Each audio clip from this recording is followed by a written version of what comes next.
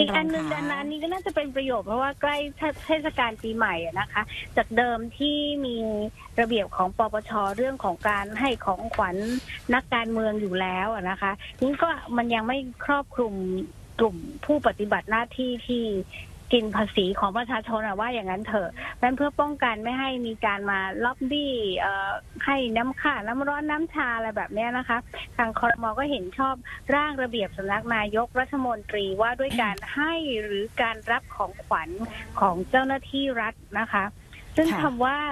เจ้าหน้าที่รัฐเนี่ยหมายถึงข้าราชการ พนักงาน ลูกจ้างหรือผู้ปฏิบัติงานอื่นในหน่วยงานของรัฐต่างๆ อันนี้ก็จะครอบคลุมมากขึ้น และของขวัญที่จะให้นะอันนี้คือสิ่งที่ให้ได้แต่ต้องไม่เกิน3,000บาท ให้ตามประเพณีแบบเทศกาลแบบนี้ให้ได้นิดหน่อยเป็นการ์ดเป็นดอกไม้ได้ แต่มูลค่าต้องไม่เกิน3,000นะคะนี้ค่ะของขวัญเนี่ยก็จะหมายถึงที่เป็นชิ้นหรือว่าเป็นทรัพย์สิน ที่เป็นมูลค่า หรือทรัพย์สินดิจิตอลก็ให้ไม่ได้นะคะ ถ้าเกิน 3,000 บาทนะคะอืมก็มูลค่ากำหนดเอาไว้ที่ 3,000 บาทใช่ถ้าเกิดว่าค่ะให้แล้วแต่ตัวเองไม่ได้รับแต่ว่าครอบครัวรับได้ไหมคะไม่ได้ครอบครัวรับนะคะแทนตัวข้าราชการเจ้าหน้าที่รัฐมาบอกว่าเออไม่ต้องให้ผมแต่ให้ภรรยาผมเนี่ยก็ไม่ได้นะคะ ถ้าเกิดว่า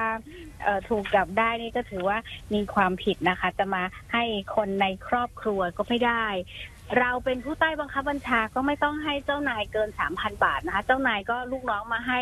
ก็ไม่ต้องรับนะคะ ถ้ามันเกิน3,000บาท เพราะว่ามันตอนนี้มันผิดระเบียบสำนักนายกรัฐมนตรีแล้วอืมและที่สำคัญนะถ้าเกิดว่าตอนให้เนี่ยแล้วเรารับไว้อะเราก็ไม่รู้ว่าราคามันมีมูลค่าเท่าไหร่เกิดใช่ไปเปิดกล่องมาเช็คทีหลังรู้ว่าเกิน3,000บาทเนี่ย สิ่งที่ต้องทำก็คือเจ้าหน้าที่รัฐคนนั้นนะคะจะต้องรายงานให้ผู้บังคับบัญชาทราบ